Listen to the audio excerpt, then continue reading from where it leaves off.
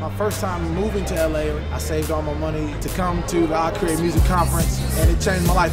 Well, ASCAP Expo for me is, is an amazing opportunity, whether it be technically through production, you know, creatively through songwriting, relationships. Uh, it's it's kind of a perfect perfect place to do that. This is the best conference I've attended as far as the sessions, the workshops, the networking, the advice, the insights. I could go on and on. Honestly, it's worth it. You know, you're trying to you know, fit all of these ideas into something that has meter, rhymes, and sings well, and you're just ripping your hair out. But you know, and then it starts to come together, and it's like butter, you know. and then it's like, then I love songwriting. You know? I met Rob Thomas,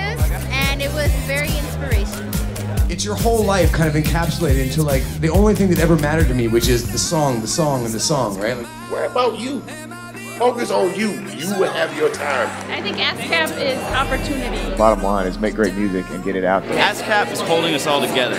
I just want to be authentic to who I am. ASCAP is informative. You are the CEO of your own business. ASCAP is fighting for my money as an artist. You have to wake up every day and you have to start thinking about it. You have to sing. You have to hum. You have to write. You gotta use it. I love music with every bone of my body, and I'm really happy to be here.